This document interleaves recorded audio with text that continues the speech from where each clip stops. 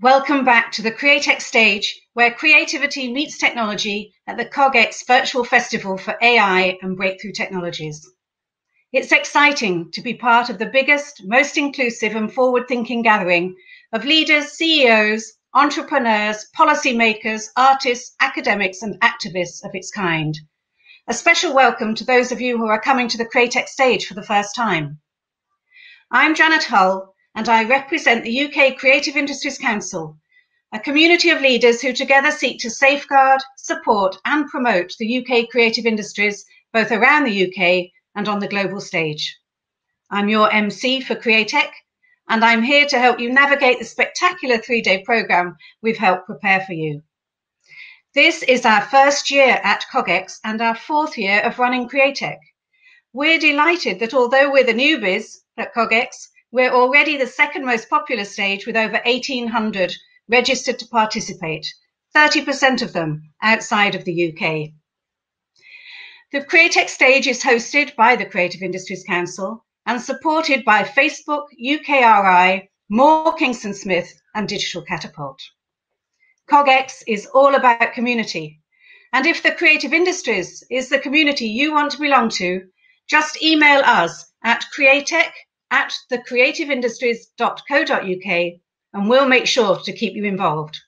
Please hashtag your appreciation of Createch too, using hashtag Createch and CognitionX 2020. The overall theme of CogX this year is how do we get the next 10 years right? And for us in the UK creative industries, for this next session, this means how do we grow our businesses in this new world where creativity meets technology? It's been curated by Moore Kingston Smith, financial service advisors to Createch businesses. So it's particularly pertinent to any of you in Createch startups or scale ups who are looking for the next injection of capital to unlock potential for your business. A big welcome to Esther Carder, partner at Moore Kingston Smith, who will be moderating this session. Over to you, Esther. Thank you very much, Janet. Thank you very much. And investment landscape for Createch businesses. My name is Esther Carder, and I'm a partner at Moore Kingston Smith, a top 20 firm of accountants and advisors with international reach in over 100 countries. And I work in one of our central London offices in the West End. Um, we've got over 100 people all of which specialise in working with media business and creative technology businesses. Um, we offer compliance services such as accounts, tax, payroll, and bookkeeping, as well as lots of advisory services as well, such as tax planning, research and development, valuations, employee incentive schemes, and also lots of strategic growth services. We've got a fantastic session lined up today um, on the funding landscape from startup to Series A, and we're going to be discussing what funding is available, um, what investors are looking for, and how Createch businesses can really stand out from the crowd. So we'll start off um, by hearing from each of the panelists, and that will be followed by a panel discussion. Uh, there'll then be a chance to hear an interview with Ben Jeffries, the founder of Influencer, one of the Createch 100 ones to watch. And following that, around three o'clock, there'll be an open Q&A session where you can ask the panelists any questions that you have. So I'd like to introduce our panelists. So we have Mej Patrick, um, who is Creative England's Chief Financial and Operations Officer, and she oversees all investment activity for the company and has a real keen interest in growing its commercial activities and diversifying its income streams. Previously, Mej worked as Director of Finance for United Nations Association and Stakeholder Forum. Secondly, we'll be hearing from Paul Winterflood, who's a director in the Moore Smith corporate finance team, specialising in the media and technology sectors. Um, Paul helps entrepreneurs grow and realize the value in their business, spending the majority of his time advising companies, raising growth capital, or working with shareholders who are looking to sell. And finally, we'll be hearing from Hannah Williamson, who's an associate in the investment team at The Edge. Her role includes supporting the team with deal flow generation and assessment, and particularly focusing on retail tech and content businesses. And prior to The Edge, um, Hannah worked in the online retail sector um, at ASOS for three years within the operational side of the business. So I'll hand over now to the panelists to tell us how they work with Createch businesses and, and also how coronavirus, um, this, this pandemic, is impacting the market. So, firstly, over to you then, Mej from Creative England. Can you tell us a bit about what Creative England do and how they work with early stage businesses? Definitely. Thank you very much, Esther.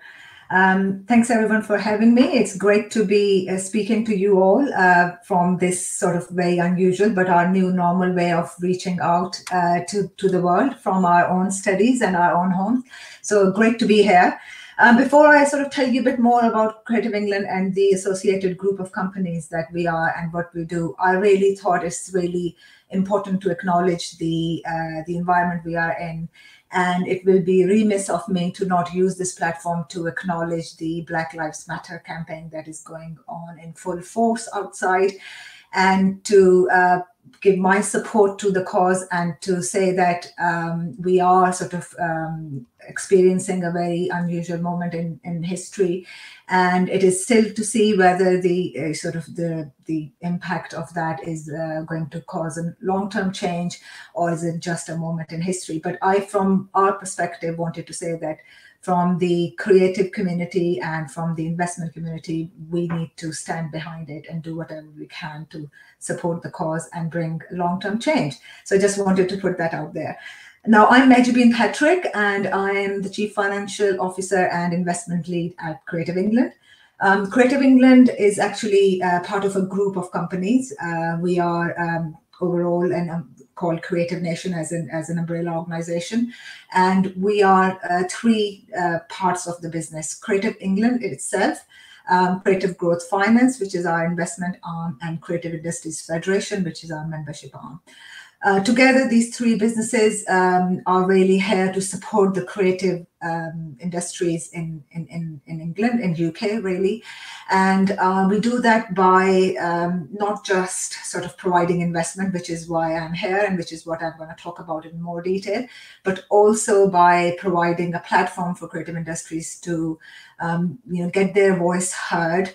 We, through our advocacy and policy work, um, sort of bring all the stakeholders within the industry together and open up the conversation around what is important for creative industries and how what the role they play in making the uh, sort of UK a place to be and how the the government and all the other external stakeholder make that um, make that work for the industry. Um, through our membership work within Creative Industries Federation, we uh, bring uh, freelancers, individuals, micro businesses, SMEs, as well as big businesses, corporates, you know, Amazon, BBC, Channel 4, Facebook, to the small one-man band organizations and individuals. Uh, in uh, as a, uh, on our creative industries federation forum we bring education government and, and everybody else to really um, you know have a debate about creative industries and creative businesses and what, what works and what doesn't.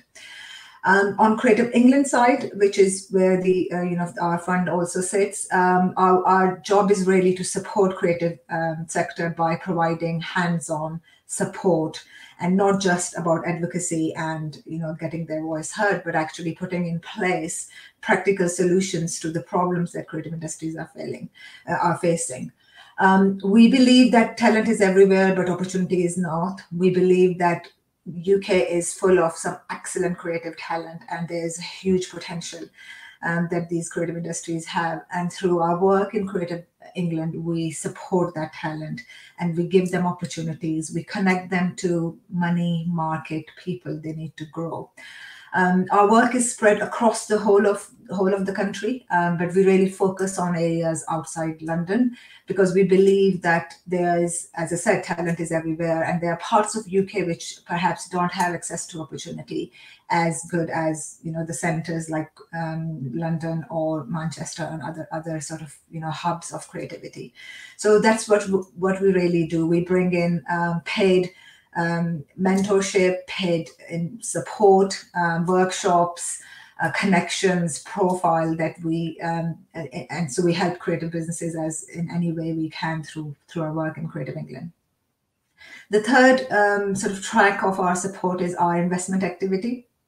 Our uh, the the the products that we are really in the market um, for our is our Creative Growth Finance, which is a new debt um, uh, debt product we have um, we have put out there for creative businesses.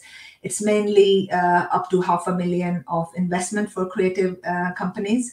Uh, these are companies who are um, really there in that early stage of growth, who are looking for um, investment, but are actually not that keen to go for equity, but are, are but are still not um, experienced enough or um, sort of profitable enough for the banks or the traditional um, lending uh, lending lending services really. So we are really supporting creative businesses mainly in TV, film, games, AR, VR, digital um, sort of um, tech businesses, and anything to do with you know creativity and tech and and and screen and all of that sort of a whole re, um, uh, whole sort of wide ranging businesses um, we are looking for businesses who are really ambitious about, uh, you know, making their um, making a difference and making um, their mark on the creative industries within the UK and really contributing to the growth of the growth of the sector, and also hoping to, you know, create new innovation and create jobs and,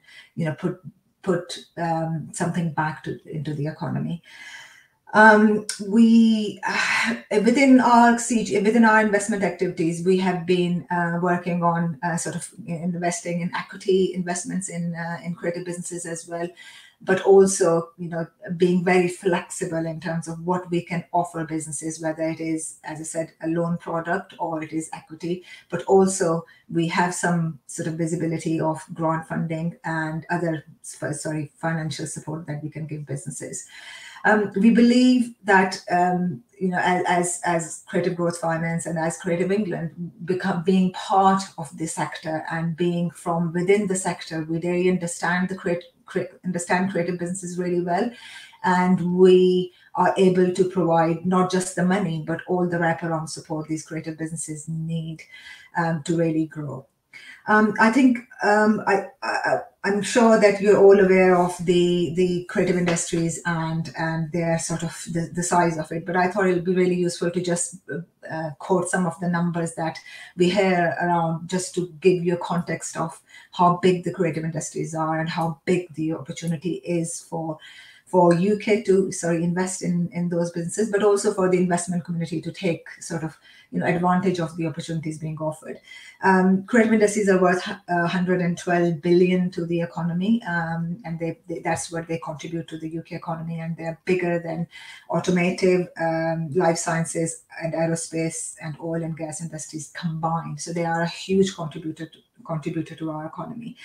They provide one in eight jobs in, in the UK, um, and they are growing at the rate of five five times um, compared to the rest of the economy.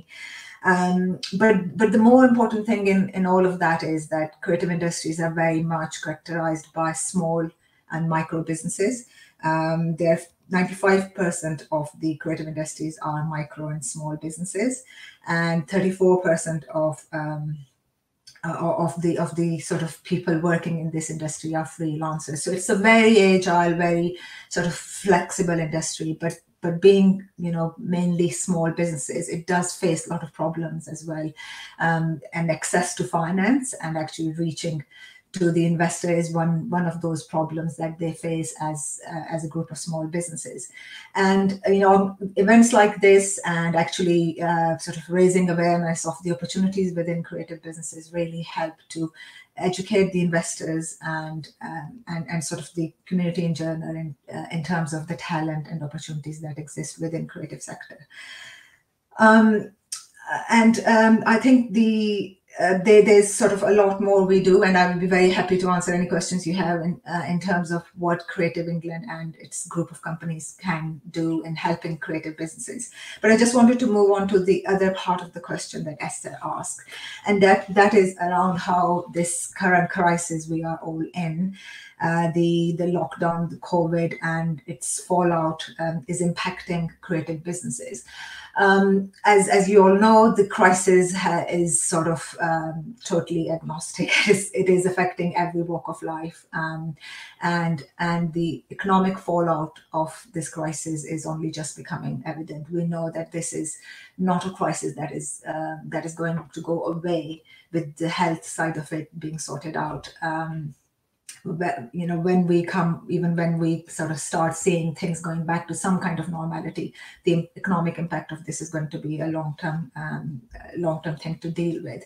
So creative industries uh, businesses are impacted by covid and um, and it is true that some part of the creative industry businesses are perhaps a bit more resilient and have found ways of sort of dealing with the crisis but there are others that are um, impacted much more severely. Um, this is another factor within creative industries is that you know it is a huge big sector, but it is comprised of some very varied sectors, subsectors within it. So um, the the games industry is on one side, which is sort of perhaps not as impacted by the crisis as much as uh, the theatre industries or the um, the live performance and uh, part of the part of the um, creative businesses. So uh, the impact of the crisis is on two sides. One is the businesses itself. We have um, in our portfolio seen uh, companies whose um, income has sort of disappeared overnight. As I said, uh, the live uh, music or theater or other small businesses in this space. So the businesses have to really, you know, um, work at the contingency planning and continuity planning in wake of the crisis and look at what they can sort of do to come you know to come to the other side still intact and alive. So there's a big challenge that businesses are facing. Um, we uh, within within our group of companies we have done a lot of research and a lot of surveys around how this um, this crisis is impacting businesses. And as i said um, you know theater businesses and live music businesses and to some extent publishing and others are impacted quite widely um, but we have also seen um, some businesses really coming out with um, with sort of you know ways in which they can make some sense of the crisis and and and come out on the other side. Um, we have seen some good response from the games uh, space, and we've seen some good re- response from the sort of more technology uh, technology based businesses. Um, the other side of the uh, impact of the crisis is on the investment. So as I said, creative industry businesses are small and they are uh, access to finance is a big challenge for them. It had it was a big challenge before the COVID crisis, and it has become more acute now. Um, investment uh, landscape overall um, has is impacted by the uh, by the COVID crisis. We know that investors are becoming more um, sort of cautious. Um, there's a defensive sort of mechanism creeping into um, into investors. Um, we know that you know fund fund holders and GPs they they are facing the crisis because they have to um, support their own portfolio companies and need to sort of make sure that the companies within their existing portfolios who are now facing crisis, they can help them with uh, follow-on money or or support them in any other way. But on the other side, those GPs are seeing that the investors are perhaps you know not not not so much forthcoming, and the capital is constrained. Um, the the other sort of uh, side of um, of that sort of the impact on the investment landscape is that um, the there's this cautious approach within investors is to wait and see how the lines of opportunities are redrawn. Um, we know that this crisis is going to throw up um, a lot of uh, sort of new um, sort of new uh, innovation and challenges um, and investors are being very careful as to see how where those sort of new opportunities are going to come from so there is that approach of see waiting and seeing where they, they would like to put money in. So there's impact on the access to finance, which is sort of um, exaggerated by the crisis. And there's, of course, the market itself, which is facing a huge upheaval. Um, and there are good stories which which I can cover at, at later part of the uh, part of the sort of uh, this this conversation. Um, but but just to say, I think um, uh, we, you know, there's a lot um, being done by the by the government in supporting creative businesses and supporting businesses in general. And but we all aware that there's only so much um, that can be done, and, and that money can only go so far. So there's, uh, it's you know, there has to be a um, sort of realization that industry needs to come together itself and create the solutions and um, and opportunities that can help them come out of this crisis. Um, I think that is where I'm going to finish now, but I will come back with a few other thoughts and comments as we go through the session. Thanks, Mehjabeen. Um, afternoon, everyone. Great to be here. Um, as Esther mentioned, I'm a director in the MKS corporate finance team, and I work exclusively with creative and technology companies, particularly advising businesses raising growth capital or looking to exit. Um, I've prepared a few slides um, around our, our, growth capital report that our, our, team team produces. So, as part of our work, our team produces a quarterly research into the UK growth capital market. So, I thought it'd be useful to give a quick overview of our latest research to help to help show the Createch uh, funding landscape. So every quarter we produce a report uh, which looks at UK private companies who have raised between 1 million and 20 million pounds of growth, cap- growth equity capital. Um, the numbers don't include senior debt and mezzanine debt fundraisers, also and also doesn't include smaller fundraisers um, unless more than a million pounds is raised. So startup funding here is generally um, not included, as, as, that tends to be significantly less than this amount. But um, for a typical company, this will this this often captures a, a, a Series A round. We also publish a Createch version of the report, um, which analyzes the the transactions and trends in the Createch Createch sector. Um, next slide, please, Matt. So this next slide shows the key findings from our Q1 report from 2020. So the chart on the left shows that quarter one activity was around 20% down compared to the equivalent period last year, showing that the, the transaction numbers were start very much starting to impact the market in in quarter one, even though the UK didn't lock down until the till pretty much the end of the quarter. More positively, the average deal size um, was around 5.15 million, uh, and that's broadly consistent with the last two quarters of 20, 2019. And, and that's significantly better than all of 2018 and the first half of 2019, which shows that I think that shows that when when investors like the uh, the company, uh, they're willing to they're willing to put increasing amounts of capital in, which is which is definitely positive. The chart on the right shows the number of Createch transactions as well as the percentage of Createch tra- transactions in the uh, overall data. Uh, and this shows that in, in Q1 uh, this year, the, the Createch sector was outperforming the, the UK growth capital market as a whole, uh, despite the uncertainty, which is which is great news for the sector.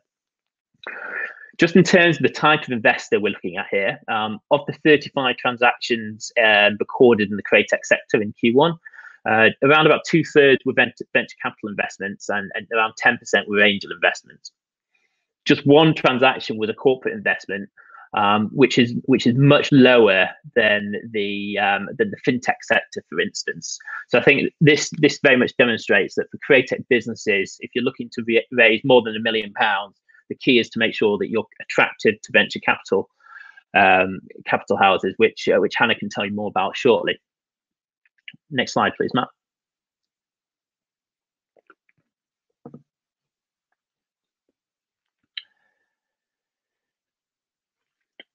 So this next slide analyzes analyzes the transactions pre and post the lockdown of the of the 23rd of March. So all the transactions in the year to date. So if we look at now, look at the overall transaction value uh, volumes. There's been there's been a 50% reduction in the market as a whole um, and that's from the conversations that we've been having with with the VC community. That's that's broadly consistent. I think uh, the the VC houses were very much focused on uh, their own portfolio immediately following lockdown, um, before looking at looking at um, other other businesses and and additional and additional investments. any sort of conversations that the, uh, that um, that the venture capital houses were having with with businesses that want before c- committing to an investment uh, in, in this in this new new environment, they wanted to make sure that the um, that the, the, the uh, data in the businesses is holding up and that the, the metrics are, that the business is still performing well.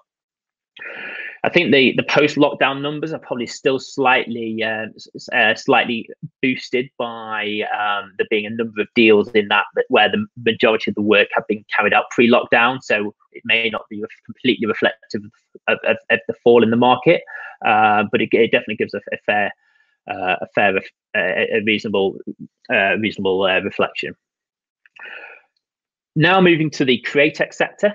Um, again, this beat the market, which is great news. Um, even though even though deal volumes did fall, the proportion of deals um, increased from 15% to 21%. I think which demonstrates the resilience and the attractiveness of the sector to to investors.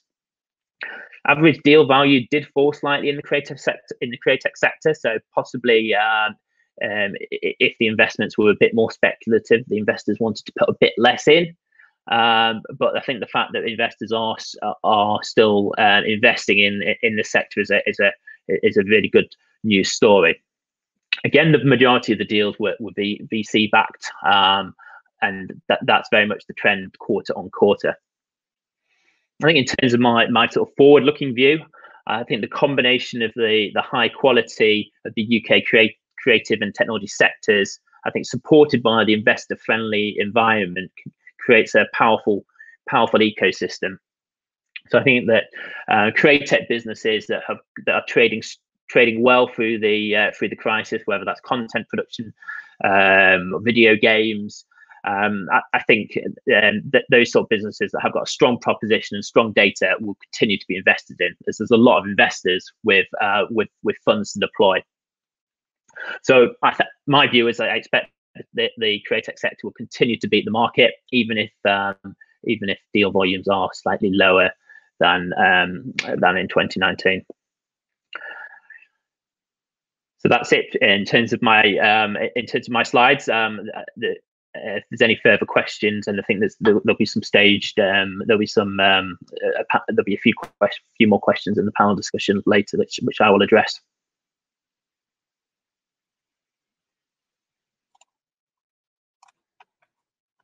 Cool. Okay, thank you. Um, so um, my name is Hannah Williamson. I work for Edge Investments, and we are a creative economy specialist VC. Um, we're currently deploying a £40 million fund into growth stage businesses, typically with around a million pounds in existing revenues. Um, we usually invest between one and three million pounds in an initial check, but we can go up to five million.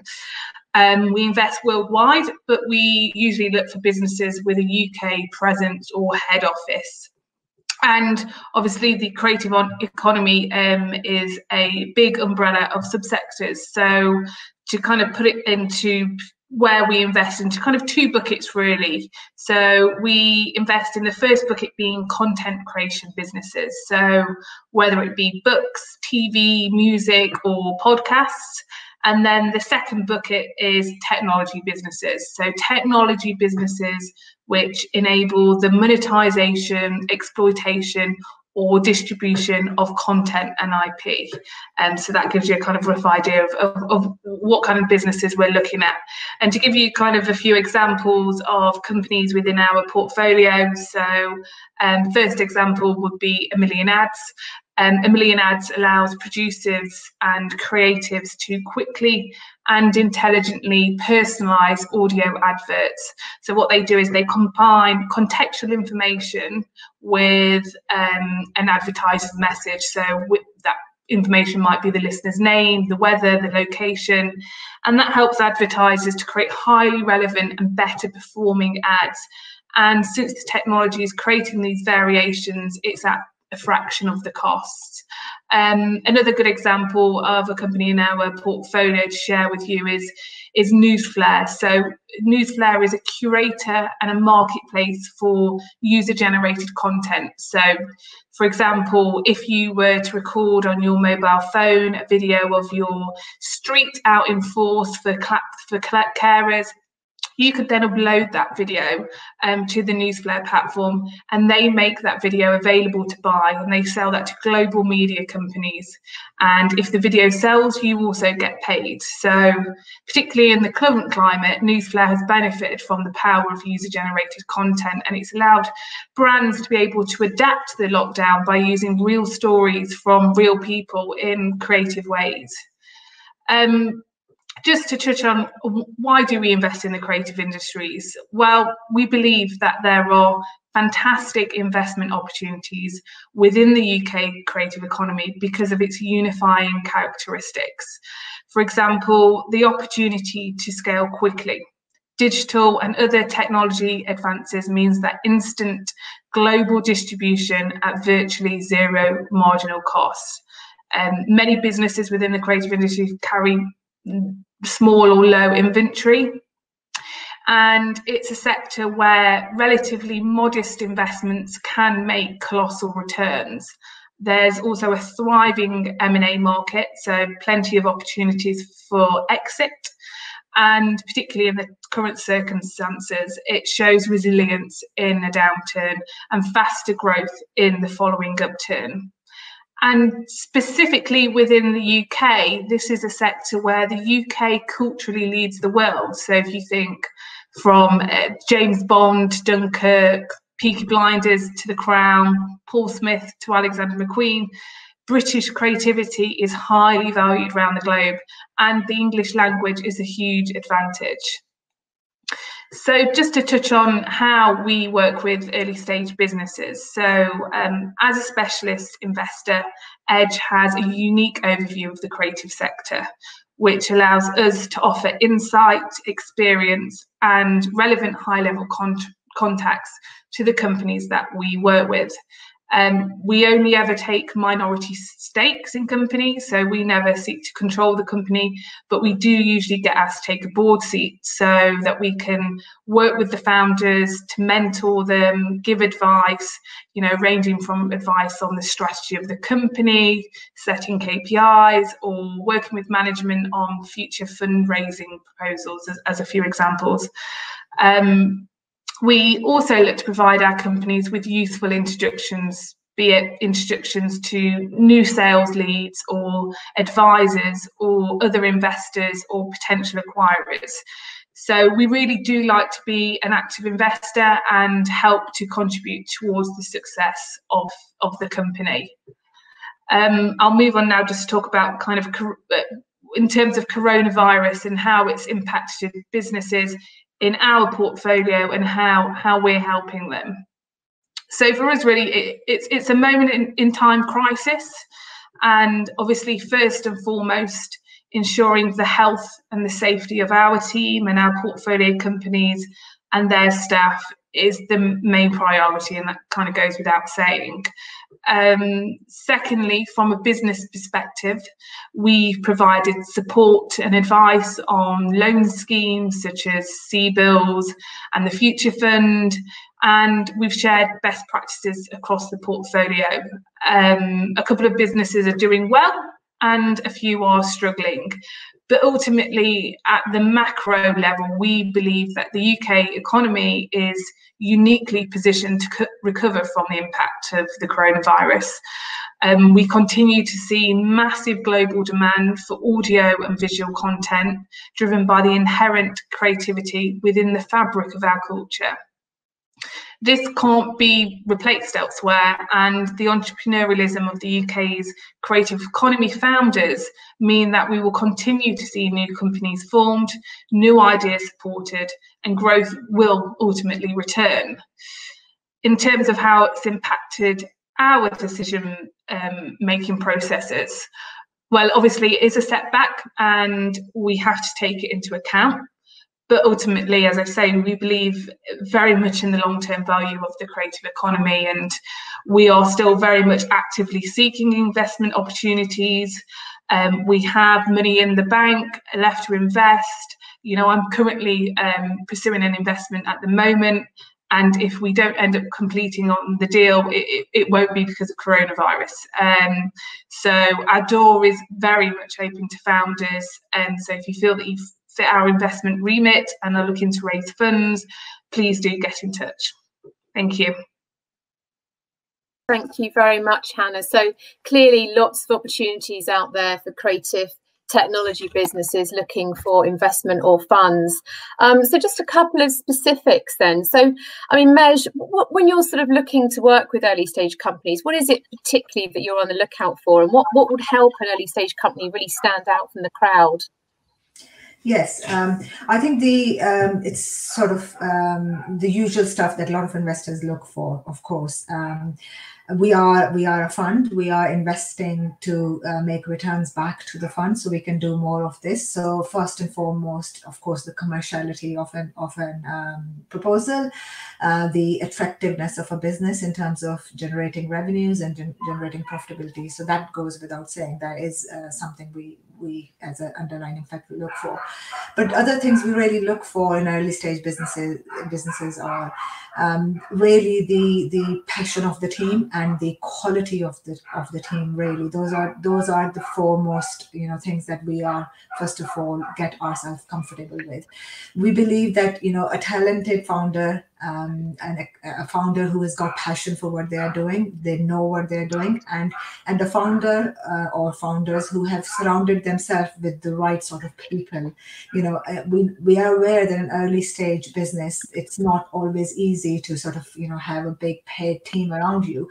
But but in uh, founders who are clever in sort of surrounding themselves with either sort of you know consultants or board members or whatever help they can get. So we really look for that in a team that they have you know got that stuff self sorted out.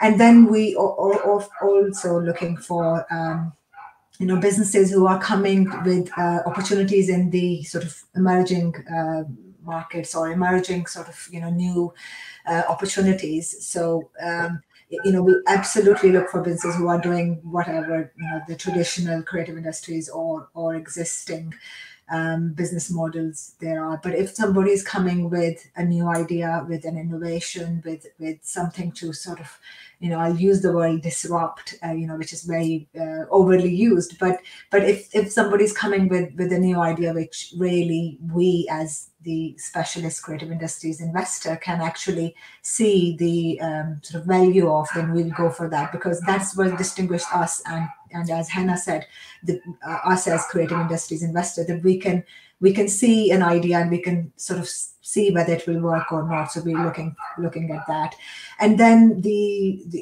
you know the, the usual stuff, the technology behind the proposal, the size size of the market, all of those things that all the investors look for. But it's the it's the people um, for and for the, the most important thing for us too when we are looking at a creative business.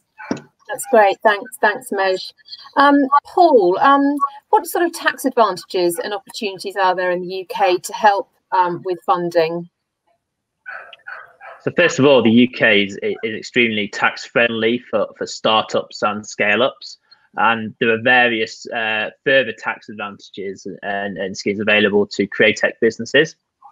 Um, so, so firstly, for, for qualifying companies, there, the, there are the uh, ever popular SEIS and EIS schemes, uh, so seed enterprise uh, scheme to start with. So the SEIS schemes, companies can receive um, 150,000 of investment, uh, which offers uh, investors up to 50 up to 50 income 50% income tax relief for any investments made.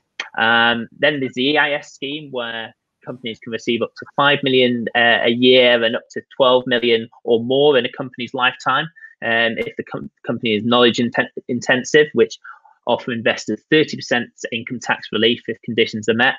And then there's uh, further capital gains tax savings too. So um, they, these, these schemes are very popular for um, attracting investment and encouraging uh, people, high net worths, um, and other investors um, to to make investments in early stage companies, and um, so that could that that provides um, uh, opportunities at the friends and family, angel, and seed rounds in particular. And then there's further uh, there's, there's, further similar schemes available at the at the at the venture capital investment stage as well.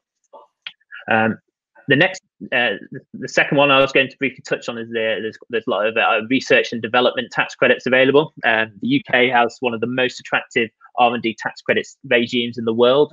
It, um, it's designed to reward business innovation and boost um, intellectual property uh, across the UK. We find that a lot of small and medium-sized businesses are unaware of these schemes, uh, and so are missing out on a vital source of funding. Um, businesses can get a tax credit which allow uh, which allows them to recoup 33 pence out of every pound of qualifying expenditure. So for an early stage tech company that's um, spending a lot of money on uh, on on research and development, then this is extremely valuable. And um, just doing an R and D claim is it, it's probably a lot easier than carrying out a, an equity funding round. So enables you to grow a bit further, grow a bit more, prove your metrics, and then do a, a, a more full equity funding round. Um, lastly, just on the, the final schemes to touch on, there's various um, tax uh, specific industry tax credits available. There's film and TV, animation, video games relief. Um, I, I, think the, the key thing is to make sure you to, is to uh, speak to an speak to an advisor and um, and they'll be able to advi- they'll be able to provide a bit of information about what schemes you, you may be may be eligible for. Uh, we're actually holding a couple of additional sessions to this one over the next couple of days. Um, our R&D experts holding a session on Wednesday at 11 a.m. Um, and also our, uh, um, our tax partner Mike, Mike Hayes recorded a, uh, a, video on tax credits for the creative industry, and you can see both of those through our through our booth on the CogX site. Thanks, Paul. So some really useful um, additional tax credits there that can supplement sort of equity funding or, or, debt financing. And just one question for you, Hannah. So, I mean, what what's important for a business doing or looking to do a Series A? And what is it that they need to get right before they even think about going to that stage? Yeah, so we we we look for a number of things um, at the stage that we invest. I think to touch on what um, Mehjabeen's already said is the importance of management teams, as these are you know the key element of success. Um, so talented entrepreneurs, you know, with the ability to become category leaders who surround themselves with with great teams. So I think all of those things mentioned are, are a given for any investor, no no matter what stage they invest in. But in terms of qualifying for Series A and the stage which Edge invests in in particular, what we, we are really looking to see from a business is, is for the business to be able to, to prove product market fit and to uh, have an understanding of the metrics and the which are both appropriate to the business model and which help them prove the case for that they have gained product market fit. So it could be revenue in terms of the metrics or cost of acquiring customers, gross margin, returning customers, or growing monthly recurring revenues um, whatever it might be. You know, one of one of the most common metrics is revenue. You know, you've got a product or service that people are willing to pay for. Um, but we do also consider other metrics to be able to prove that case of product market fit. So, t- to give an example, we invested in one of our portfolio companies, wasn't quite at that one million pounds in revenues, which we usually look to see. Um, but they had managed to achieve a million downloads of their consumer facing app, which told us that they had been able to effectively capture the very specific target audience that they were after.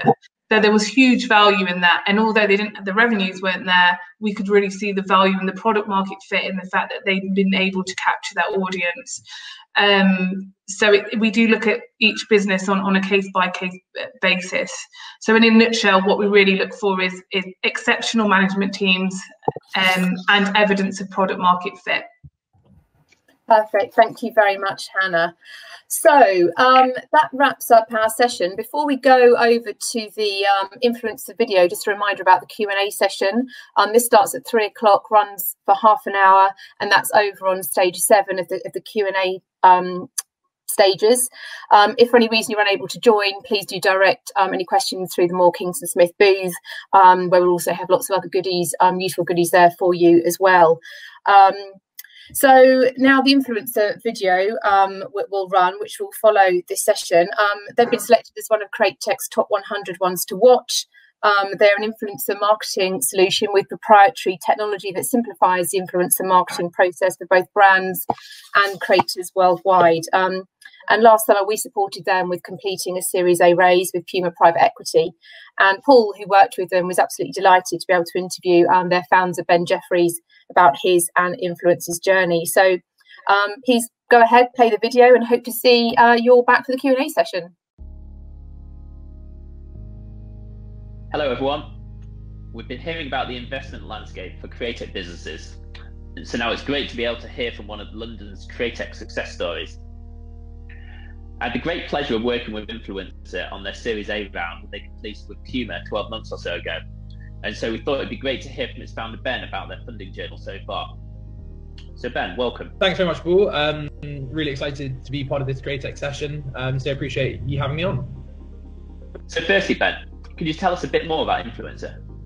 Yeah, of course. Um, so my name's um, Ben Jeffries. I'm the CEO and co-founder of Influencer. Influencer is an influencer marketing solution um, that essentially combines creativity and technology to build meaningful relationships between creators and brands on social media.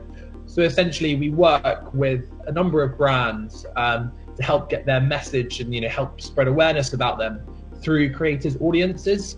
Um, and we've worked with brands from Alibaba to Starbucks to BBC um, on worldwide campaigns. Um, and it's been, yeah, a, a, really, really exciting journey so far. Fantastic. So I thought it would be great if you could tell us about your, the story behind Influ- Influencer, and in particular where you got the idea from. I think if I remember rightly, uh, the, it was quite an interesting story at the start. Yeah, absolutely. Um, certainly in the early days of um, Influencer, um, it was, I guess, quite a, an interesting story because actually while I was at, university. Um, and before I actually had um, Influencer as a business, I had a clothing company. And I was like, how can I make this clothing company the next big thing? And everyone knows that if celebrities wear your clothes, it can really um, amplify um, the brand awareness and the reach of a brand. Um, and I managed to partner um, with a number of um, Chelsea reserve team footballers. I'm a massive Chelsea Football Club fan. Um, to wear the clothes, I was getting a really good sort of buzz about the brand and a really good buzz um, on on social media about this. And I kind of noticed the gap in the market where because I was benefiting as a brand, other brands could benefit from it too. Now, why it was so interesting was because I was seeing such great results as an advertiser. Um, and kind of, I guess you could say, a bit of like a, a Tinder success story here as well. Um, my best friend at the time, a girl called Maddie, actually matched with um, a YouTuber named Casper Lee on Tinder, and they ended up actually going out for about you know, nine months. But while they were going, I was like, Maddie, you have to introduce me to Casper. Um, you know, I really feel like I'm understanding the advertiser side of the influencer spectrum. Meanwhile, Casper clearly understands the creator side of the spectrum. Um, so she set us up for a coffee. She said, Look, can't promise anything. It's down to you to see what you can do. We ended up having about three, four hour session um, just about like, you know, like jumping ideas off each other into how hmm. we see influence growing and really making influence work. Um, so I suppose you know what makes us interesting as a company is we have those like two-sided thought processes as two founders within the company where you know um, I really care about the advertisers, Casper really cares about the creators, and it's the balance between the two which helps us apart. Excellent. So Casper was your first co-investor. Who else invested in you at the start? How did you go about that process, and did you get any uh, further investment at the start? Yeah, so I'd say in uh, you know I guess before our Series A, we kind of had two different types of investment rounds. So we had like a pre-seed investment round, which um, was an investment round on Crowdcube. Um, mm-hmm. So a bit of one of those um, cliche stories where it was like we raised 100 grand in 24 hours when really that's not really how CrowdCube works. It's yeah. spend months in advance getting the actual fundraising so that when it goes live, it's 24 hours. Um, so we had actually had 139 people um, invest through CrowdCube in the first investment round, um, and we got 152,000 pounds in total. Mm-hmm. And then, um, the next investment round was really when we started bringing in people who were able to offer us advice and be a little bit more of a, you know, a tactical investors. Mm. Um, so that's when we raised five hundred thousand pounds, and that's what we called our seed capital, really. Um. And the types of investors that we brought on board then were, you know, we had a lawyer, for example, who invested. He was instrumental um, in helping us out in the early days. Um, we had um, someone who um, is kind of known for taking companies from seed to Series A as well and offering advice and support. Also invest there, um, and we had a number of other investors um, who were able to really, I guess, put us in touch with you know clients, creators, and people who were genuinely just able to help influence to grow as a business. And one of the other um, really interesting things about that investment round too is that we also got a number of influencers to also invest in in the round. So obviously having Casper from a creative perspective was great, but we managed to get um, other people like Joshua Pieters, Joe Sugg, and all of these sort of um, creators to sort of really build up this kind of story about influencer that we were by creators for creators. Hmm. Um, really, really um, exciting for us. For the seed round, you were looking for smart money then rather than just people who would put money into the business 100% i mean we actually had a couple of um, term sheets from kind of I guess you could call them EIS funds or SEIS. Well, it would have been EIS funds because it was 500 grand. But yeah, we had, we had a couple of terms from EIS funds. But it was kind of like we don't really need that because it would have been so much more complex and have had so much more control. And especially during the seed round, you don't need that. You need the flexibility to be able to ultimately back yourself um, and back, you know, your team um, to be able to help get it to the next stage. It's only really when, you know, it gets to a stage where the money becomes millions um, mm. should, should I personally believe that you then have an institutional investor because they, you know, come with a wealth of experience as well as a wealth of services which help you grow as a business. Great. So, in terms of this team of investors that you pulled together and who invested in the seed round, how did you help? How did they help you get to the Series A?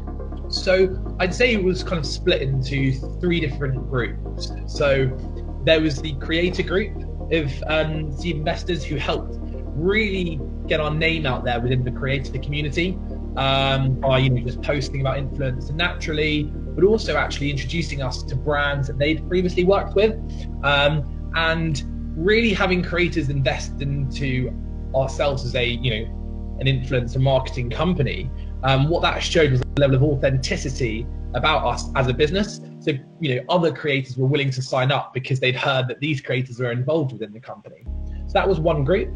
Um, another group of um, investors were a group of kind of silent advisors who were able to connect us with, um, you know, key brands, um, whether that be um, brands within the fashion industry or brands within the betting industry, you know, a, a, key variety, and that was just because of their own connections within the business world. So those ones were fantastic, obviously, in helping the revenue grow. Um, and then the third group were more, we kind of formed this um, advisory, like, um, board group, I guess you could say, but they weren't official board, it was more an advisory board where we'd meet on a bi-monthly basis. Um, and we treat it as though it was a, you know, a full-on board and we discussed key things. Um, so that was the ones where it involved, you know, the guy who I mentioned who helped take it from D to Series A, the guy um, who was a, a, lawyer, someone actually from Facebook as well, um, someone who had experience within market research, who had actually sold plenty of companies as well, and that sort of group, I guess, could, you know, helped ensure that we were tracking against um, objectives that we'd set, and helped, I guess, formalize the business much more and ensure um, we were actually monitoring the right type of KPIs. And I think that's one of the key things as well um, in the early stages is to make sure that you know you have the discipline and you know um, you have the focus um, to not take your eye off the ball because it's so easy to in a fast growing company and to you know keep your eye on the ball on the key KPIs, which can help you get to that next level. So, how do you find the Series A round overall? You mentioned that it took longer than you maybe expected. Certainly, from our perspective as advisors, it can be a bit of a roller coaster, let alone for new founders. Do you have any tips for other founders who are about to undertake one? Absolutely. I mean, 100% use a third party to um, go in the middle of, you know, in, in the middle between yourselves um, and venture capital. I mean, we use, as you said, you guys and you were fantastic. I think, you know, there were multiple times during you know, negotiations, due diligence processes, where really I don't. I think if there hadn't been a third party in between, you know, you would like you generally get that feeling inside where you're like, I can't do this anymore. Doing out, you know, this is never going to actually complete or anything like that. When you have a third party in between to basically just help support you along that journey and I guess be that balancing act between the two um, yeah, it just helps ensure that you can, you know, push forward and um, and drive forward. And I think, yeah, for me, hands down, just you know, have a third party in between. And you know, some people are a little bit skeptical because you know, third parties work in different ways. Some charge retainers, some charge success fees. But I promise you, it's absolutely worth it. Thanks very much, Ben. It's been great to hear about your journey and how the London Createch scene has helped you nurture and grow your business definitely a business that people should keep an eye out uh, keep an eye on in the future. Further information about how Moore Kingston Smith helps creative businesses access grants, tax credits, and finance to help them grow, please visit our booth at CogX. Our website www.mooreks.co.uk or get in touch via email.